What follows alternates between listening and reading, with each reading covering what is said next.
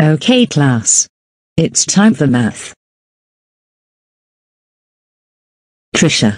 How dare you smoke bong in my class? That's it. Go to the principal's office right now.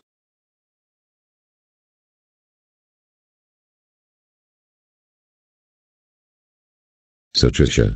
Why are you here? I smoked bong in class. Oh my god Trisha. I can't believe that you did that. That's it. You are now suspended for three months. Go home now. Trisha, how dare you smoke bong in class and then get suspended for three months at school? That's it. You are grounded, grounded, grounded, grounded, grounded for 17 months. Go upstairs to your room now.